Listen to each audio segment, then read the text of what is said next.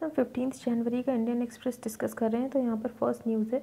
तो basically supreme court ने एक कमेटी बनाई थी फार्मर्स और गवर्नमेंट के बीच में कंसल्टेशन कराने के लिए। तो अब जो सुप्रीम कोर्ट ने कमेटी बनाई थी, उसमें से एक मेंबर ने विड्रॉ कर लिया है। तो यहाँ पर है the exit of Bhupendra Singh Mann has put a question mark on the consultation process it remains to be seen if the court names a new member to replace him और इसके अलावा एक और दिक्कत ये है कि जो फार्मर्स हैं वो डायरेक्टली रिजेक्ट कर रहे हैं इस जो भी कमेटी बनाई गई है बाय द सुप्रीम कोर्ट उनका बेसिकली ये कहना है, ये जो लोग हैं कमेटी में, ये प्रो गवर्नमेंट है और इन्होंने हमेशा से ये जो फार्म लॉज उनको बैक किया है। ठीक है, हम नेक्स्ट न्यूज़ पर चलते हैं। यहाँ पर है finance NITI head raise red flags before Adani clean sweep of six airports तो बेसिकली यहाँ पर दिक्कत क्या है, जो कंपटीशन कमीशन ऑफ़ इंडिया है, वो ये देखते हैं कि कहीं किसी एक ही कंपनी की मोनोपली तो नहीं हो रही है तो उसको दूर करने के लिए competition commission of India basically investigation कर रहा था। तो aviation is one sector the competition commission of India has marked for review of market dominance तो बेसिकली अब उसकी इन्वेस्टिगेशन जारी है, क्या यहाँ पर मोनोपली है कि नहीं है? ठीक है? अब यहाँ पर क्या बोला गया है? Simultaneously it has started a review of all model concession agreements concession agreements क्या होते हैं? जो पब्लिक प्राइवेट पार्टनरशिप के एग्रीमेंट्स होते हैं, उनको बोलते हैं model concession agreements across four की infrastructure sectors airport ports electricity railways तो यहाँ पर देखा जा रहा है कि जो पब्लिक प्राइवेट लीगल कॉन्ट्रैक्ट्स हैं, वो कैसे हैं? कहीं उससे मोनोपली तो नहीं हो रही है।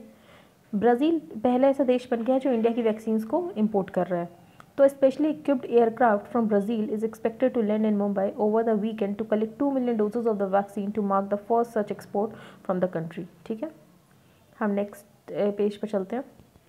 यहाँ पर वही वाली बात कंपटीशन कमीशन ऑफ़ इंडिया की, कि वो ये बेसिकली इंश्योर कर रहा है कि इनफ नंबर ऑफ़ प्लेयर्स होने चाहिए ताकि किसी की मोनोपली ना हो। तो there are enough players who are able to participate in the award of concessions The policy of the government is to make the economy efficient and in that process what the CCI can do is look at whether the dominance is abused or not. तो basically competition commission of ये देखेगा कि कोई भी ऐसी company तो नहीं है जो अपनी डोमिनेंस को अब्यूज़ कर रही है। अगर अब्यूज़ ऑफ़ डोमिनेंस होगा तो C C I can take action again under section four of the competition act बस आपको कॉम्पिटिशन कमीशन के बारे में कुछ चीज़ें बताओ, पता होनी चाहिए कि स्टैटूटरी बॉडी ये कौन से एक्ट से बनी बस इसके बारे में थोड़ा याद होना चाहिए, बाकी इसमें कुछ खास इंपॉर्टेंट नहीं है। बस किसी भी कंपनी की जोग्राफिकल मोनोपोली नहीं होनी चाहिए ताकि कंपटीशन बना रहे और लोगों को हमेशा चीज़ें एकदम सही सस्टेनेबल प्राइस में मिले। बहुत ज़्यादा हाई प्राइस ना कर दे, बहुत ज़्यादा कम प्राइस ना हो। ठीक है, हम आगे चलते हैं।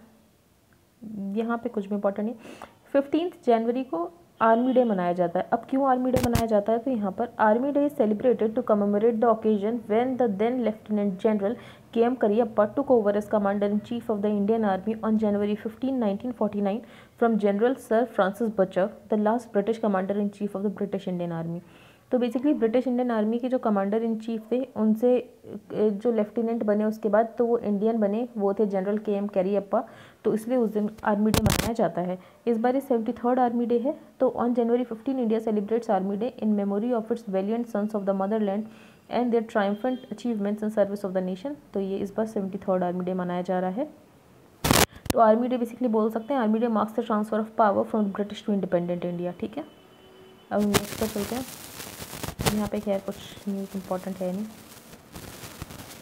यहाँ पे भी कुछ इंपॉर्टेंट नहीं है। ये इस पर बेसिकली आर्टिकल भी आया कि फार्मर और गवर्नमेंट में कैसे ट्रस्ट डेफिसिट है। आगे चलते हैं। यहाँ पर ये न्यूज़ थी कि ये जो है six months after CM Amarinder promised help तो इस इंसान ने दो गोल्ड मेडल जीते थे। तो एक गोल्ड मेडल पे सरकार इसको पंद्रह लाख रुपए दे रही थी तो बेसिकली दो गोल्ड मेडल के चलते इसको तीस लाख रुपए मिलने वाले थे। लेकिन सरकार ने इसको अभी तक तीस लाख रुपए दिए नहीं थे और ये फिज़िकली डिसेबल्ड था। उसके कारण इसको पैसे नहीं मिल पाए ताकि इसका सही से इलाज हो सके फाइनली ये मर गया। तो इससे हमें क्या पता चलता है कि ब्यूरोक्रेटिक अपैथी ठीक है? तो एथिक्स में सारी इश्यूज़ आते हैं कि अगर मतलब ये कोई बहुत बड़ा इंसान होता है, जिसके ट्विटर पे बहुत ज़्यादा फॉलोअर्स होते हैं, जैसे फॉर एग्जांपल हरियाणा में कौन सी प्लेयर थी, उसने ट्विटर पे बोल दिया कि मुझे पैसे नहीं मिले और तुरंत सरकार आ गई एक्शन में। तो ऐसे लोग अपने, इनके इन्फ्लुएंसेस होते नहीं हैं तो इनको पता नहीं चल पाता कि किस उससे गुजर रहे हैं और सरकार भी इनके पैसे टाइम पर देती नहीं है। तो lifting stones and bricks with his father for rupees 400 a day and later working as a caretaker at a shelter home for the differently able feeding and bathing inmates this is how Rajveer Singh from Sihar village of Ludhiana who won two gold medals at the 2015 Special Olympics in Los Angeles provided for his family ठीक है Six months after Punjab Chief Minister Captain Amrinder Singh promised him help in a video posted on Twitter, and five years after he won his medals in cycling, Rajveer, who suffered from an intellectual disability due to a brain-related ailment, died of uh, died at Christian Medical College and Hospital Ludhiana Wednesday after being on ventilator support. तो basically इसका cash price तीस लाख रुपए था rupees fifteen for each medal जो कि promise किया था by Shiromani Akali Dal BJP government ने 2015 में वो आज तक उसके पास नहीं पहुँचा और उसके वो पेनरी में मर गया मतलब उसके पैसे भी नहीं थे तो इससे ब्यूरोक्रेटिक एपैथी का एक एग्ज़ाम्पल मिलता है हमें। हम आगे चलते हैं। यहाँ पे, यहाँ पर आफ्टर ब्लॉकिंग ट्रंप तो बेसिकली ये आर्टिकल इस पर जैसे ट्विटर फेसबुक सबने ट्रंप को ब्लॉक कर दिया तो क्या वो उनकी फ्रीडम ऑफ़ स्पीच को वॉयलेट कर रहा है ट्रंप की? या फिर ये कोई ऐसा प्रेसिडेंट सेट कर दे रहा है कि आगे कुछ भी वॉयलेंस या फिर हेट स्पीच होगी तो उसको ब्लॉक कर दिया जाएगा? तो बेसिकली ऑथर ने इसको ही इंट्री केसेस में डील किया है तो हम देखते हैं क्या क्या बोला गया है ऑथर के द्वारा। The platforms decision have been criticised जो फेसबुक और ट्विटर ने किया ट्रंप को बैन करके bar from using Facebook and Twitter तो उस डिसीज़न को क्रिटिसाइज किया गया है। Broadly critics argue that social media company should not censor a president और make what conservative see up as politically bias decision about speech ठीक है basically critics ने ये बोला कि सोशल मीडिया कंपनीज़ को सेंसर नहीं करना चाहिए। एक प्रेसिडेंट को जो सिटिंग प्रेसिडेंट है इंडिया में भी लोगों ने काफ़ी इसको वो किया था कंडेम किया था कि ऐसे नहीं करना चाहिए। ठीक है The latter claim wrongly assumes that all ideological conservative speech is the same as harmful speech. Trump could have uh, stopped at expressing dissatisfaction about the electoral outcome लेकिन बेसिकली ऑथर का ये बोलना है कि ट्रंप को नहीं बार किया जाता अगर वो इलेक्टोरल आउटकम से डिससेटिस्फेक्शन जताते बस वहाँ तक ही रुक जाते। लेकिन नहीं उन्होंने क्या किया?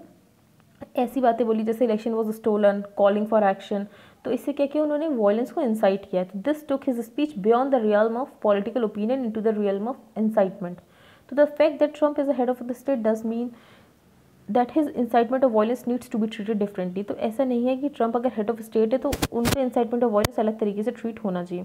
Social media would have enabled and amplified the incitement to violence through the platforms if they did not act to restrict the circulation from speech given the connection between the words and the violence तो author ने बोला, अगर कोई चीज़ जल्दी होनी चाहिए तो basically ये होनी चाहिए थी कि सोशल मीडिया को अपनी पॉलिसीज़ इन सारी चीज़ों के लिए क्लियर रखनी चाहिए। तो बेसिकली ऑथर सपोर्ट करिए कि ठीक किया, उसे बाहर कर दिया।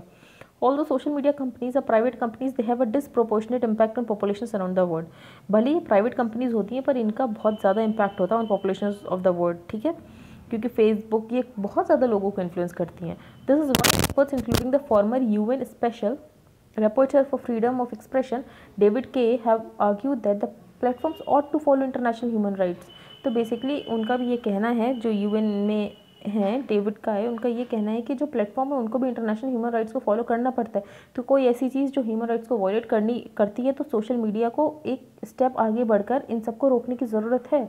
तो social media companies accept that they must take steps to ensure that they do not facilitate tragically extreme harm such as the Rohingya genocide in Myanmar तो जैसे रोहिंग्या जेनोसाइड म्यांमार में हुआ तो वहाँ पर भी इसको एक स्टेप आगे बढ़कर रोकना चाहिए था। क्योंकि सारी चीज़ें होती तो फेसबुक या ट्विटर के थ्रू ही सर्कुलेट है।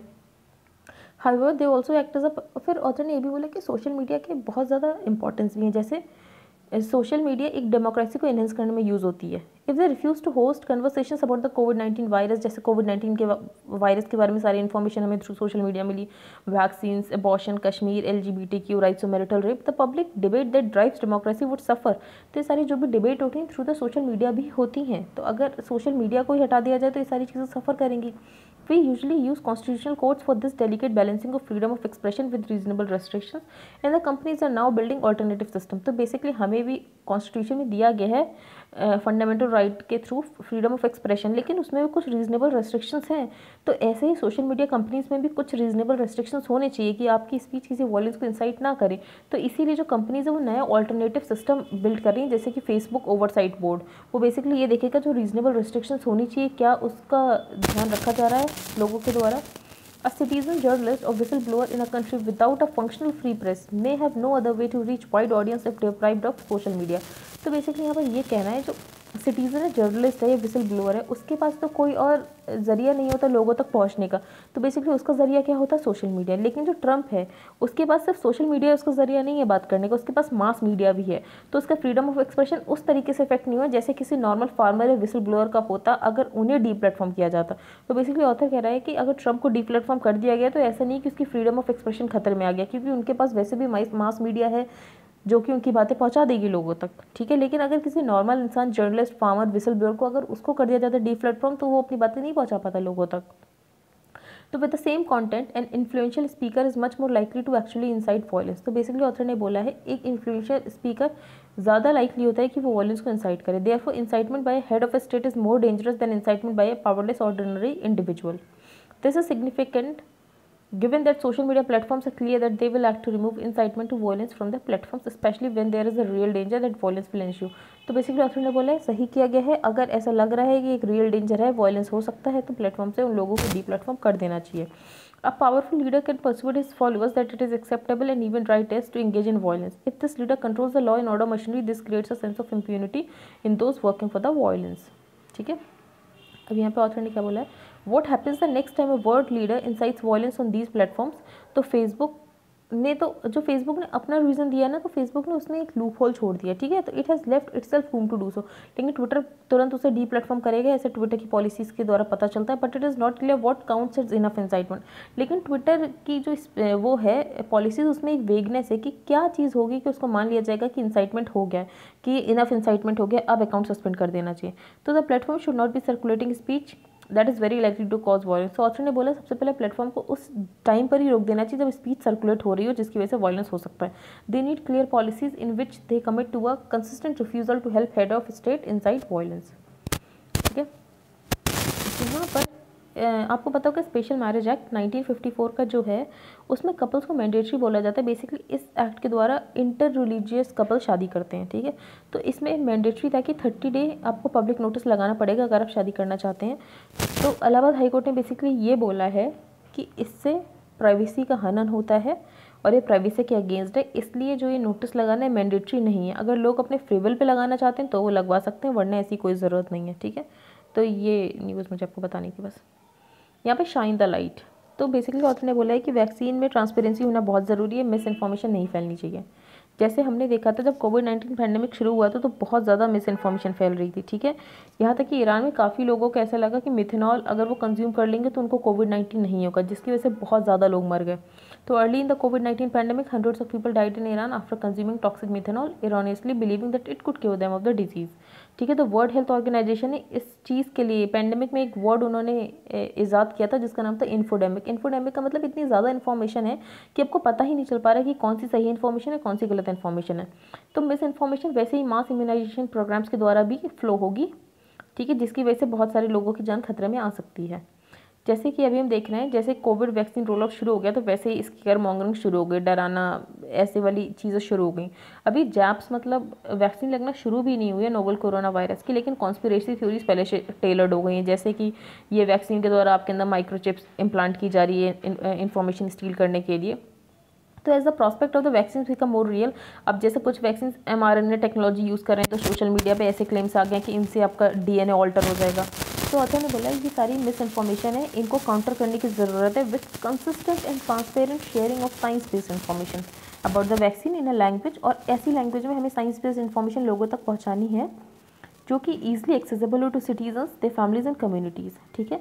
लोगों को सच जानने का अधिकार है, लोगों को जानने का अधिकार है कि वैक्सीन में क्या है, कैसे एडमिनिस्टर किया जाएगा, इनकी बॉडी में वर्क कैसे करेगी, क्या रिएक्शन और साइड इफ़ेक्ट्स होंगे अगर कोई भी होंगे तो।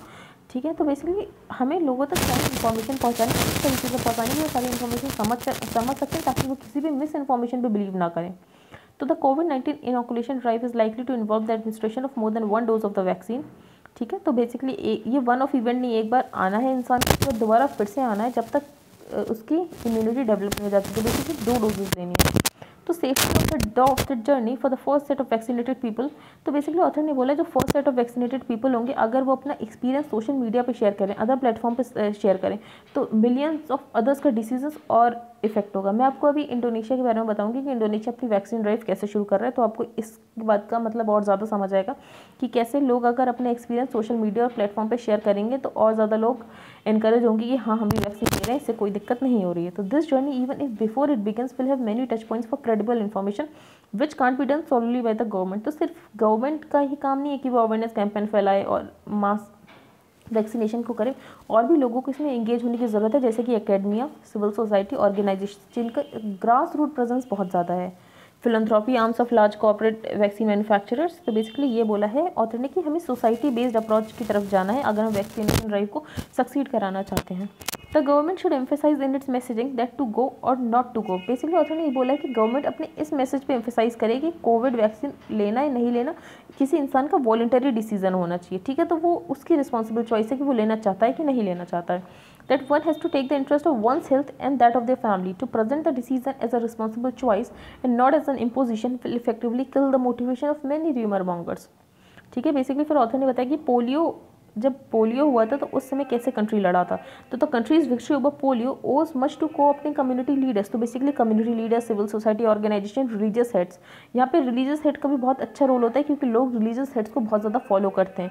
तो रिलीजियस हेड जैसा बोलता है, लोग उसी तरफ़ टिल्ट हो जाते हैं। फॉर एग्ज़ाम्पल क्रिश्चियन में जैसे, इसमें कुछ एबॉर्शन का कुछ यूज़ किया गया है वैक्सीन में तो क्रिश्चियन में क्रिश्चियनिटी में अबॉर्शन को गलत माना जाता है, लेकिन एक बार उनके रिलीजियस हेड ने बोल दिया कि हाँ ये इस वैक्सीन को आप ले सकते हो तो क्रिश्चियन भी इस वैक्सीन को ले रहे हैं। तो वैसे ही रिलीजियस हेड का बहुत बड़ा रोल होता है। तो many of them enjoy high trust and credibility among people and have the unique ability to turn scientific message into contextually relevant information ठीक है? अब जैसे जो उलेमाज हैं, मुस्लिम्स में वो बोल रहे हैं कि वैक्सीन में पिक का जेलेटिन यूज़ किया गया है तो उसको नहीं लेनी चाहिए। तो ऐसे ही रिलीजियस हेड बहुत इंपॉर्टेंट होते हैं। Well some religious leader could be sources of misinformation कुछ religious leader sources of misinformation हो सकते हैं, लेकिन हम देख रहे हैं बहुत ज़्यादा रिलीजियस लीडर आजकल प्रोग्रेसिव की तरफ़ जा रहे हैं साइंटिफिक और रैशनल थिंकिंग की तरफ़ जा रहे हैं। तो such non state actors should be involve in an alliance that can help in social mobilisation for COVID vaccination ठीक है? तो हम ऐसे नॉन स्टेट एक्टर्स को यूज़ कर सकते हैं कोविड वैक्सीनेशन के उसमें। साइंटिस्ट और वैक्सीन एक्सपर्ट्स का एक प्रोएक्टिव रोल होना चाहिए shaping the attitude of people industrial houses should become partners in disseminating science based information government at the centre the state level वो अच्छा काम कर रहा है कोल्ड चैन फैसिलिटीज़ बनाने के लिए एक आर्मी ऑफ़ वैक्सीनेटर्स को ट्रेन कर रहा है। तो the leadership in the country will have to rise above the political and ideological difference so basically author ने ये बोला है, जो लीडरशिप है कंट्री को, उसको अपने पॉलिटिकल और आइडियोलॉजिकल डिफरेंसेस से ऊपर उठ के आना चाहिए। जो नेशनल रिस्पॉन्स होना है मास वैक्सीनेशन ड्राइव का for rare opportunity for political leaders across party lines to close ranks and demonstrate that on issues pertaining to people's health they stand united. तो बेसिकली ये विक्ट्री अगर हमारी मास vaccination drive अच्छी तो ये victory सिर्फ़ against the pandemic भी नहीं है but for democracy as well ठीक है? ये आर्टिकल बिल्कुल इंपॉर्टेंट नहीं है, पर इसमें कुछ बातें हैं जो मैं आपको बता देती हूँ। बेसिकली एक रिपोर्ट पब्लिश की गई है, जिसका नाम है Britain future future foreign policy after Brexit इस रिपोर्ट का नाम है ग्लोबल ब्रिटेन ग्लोबल ब्रोकर ठीक है? इसमें यूके ने क्या किया है? यूके बेसिकली ये बता रहा है कि पोस्ट ब्रेग्जिट ब्रिटेन कैसे इंटरनेशनली इन्फ्लुएंशियल रह सकता है। ठीक है? तो यहाँ पर उसने अपना शिफ्ट थोड़ा नॉन यूरोपियन कंट्रीज़ की तरफ़ बढ़ाया है ग्लोबल ब्रिटेन को बनाने के लिए। वहाँ पर उसने चार कंट्रीज़ को कैटेगराइज किया as the difficult four countries जिसमें उसमें एक, उसने इंडिया का नाम भी लिख दिया है।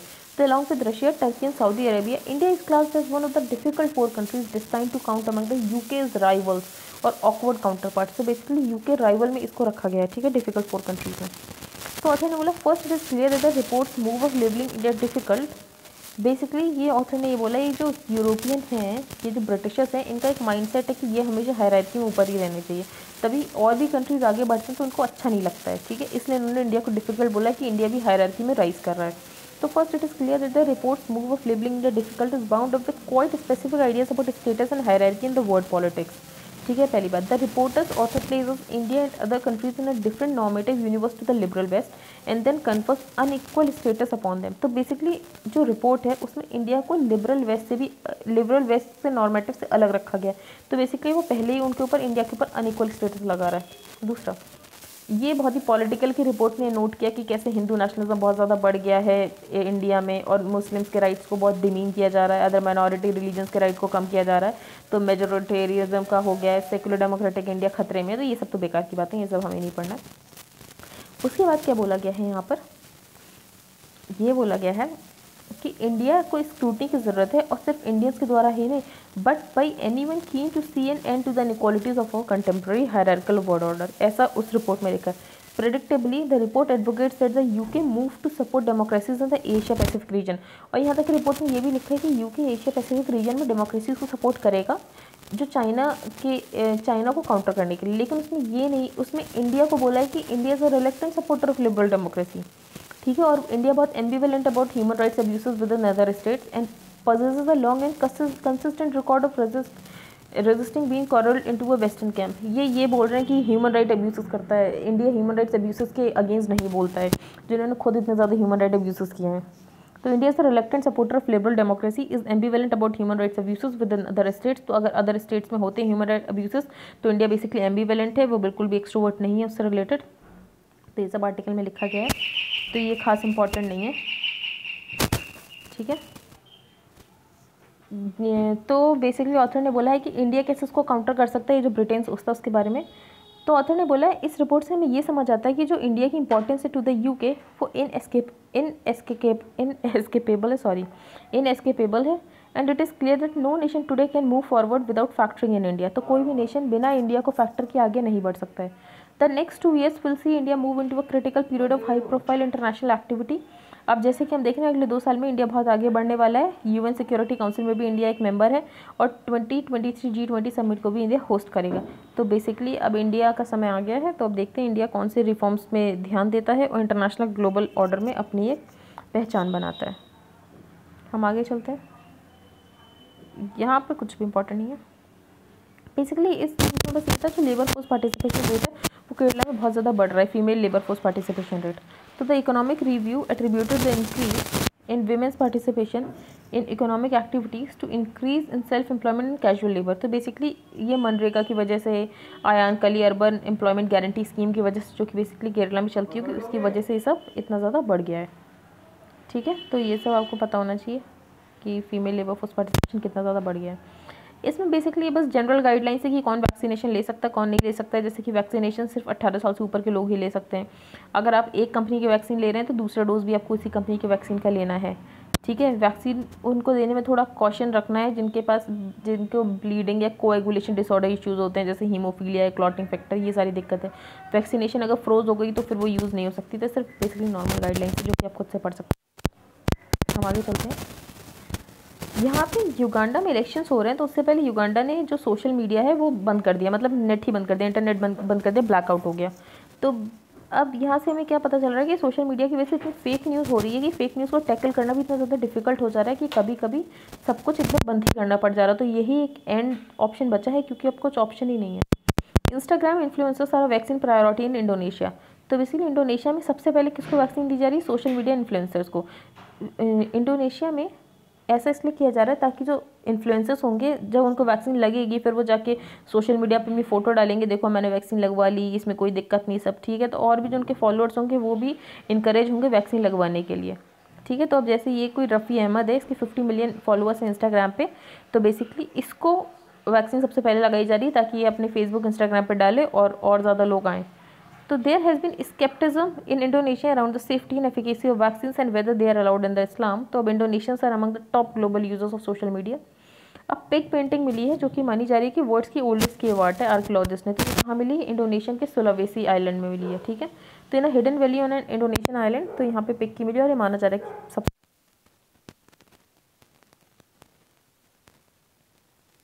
फार्मा कंपनीज़ कौन सा इंश्योरेंस ले रही हैं तो the insurance cover known as clinical trial liability insurance तो ये इंश्योरेंस इसलिए ले रही है ताकि जब ये क्लिनिकल ट्रायल्स करेंगी तो अगर किसी भी जो इंसान उसको कोई भी दिक्कत आ गई और वो कुछ भी क्लेम करेगा तो उसके लिए बेसिकली इंश्योरेंस ले रही है। तो policy covers serious adverse events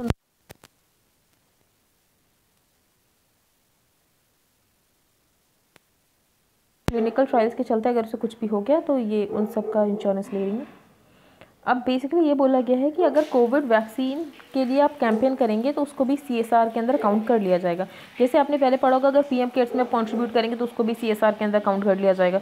तो कॉर्पोरेट सोशल रिस्पॉन्सिबिलिटी होती क्या है? तो जो भी कंपनीज़ जिनके नेटवर्क पाँच सौ करोड़ से ज़्यादा है टर्न हज़ार करोड़ से ज़्यादा है, और नेट प्रॉफिट पाँच करोड़ से ज़्यादा तो उनको लगभग जो पिछले तीन साल का अपने दो परसेंट का प्रॉफिट किसी भी ऐसे सी एक्टिविटीज़ में लगाना पड़ता है कॉर्पोरेट सोशल रिस्पॉन्सिबिलिटी एक्टिविटीज़ तो अब उसमें कोविड नाइन्टीन वैक्सीनेशन प्रोग्राम के लिए अगर आप करोगे कैंपेन तो उसको भी इंक्लूड कर लिया गया I think that's it for today. Thank you and have a nice day. If you like the video then please like, share and subscribe.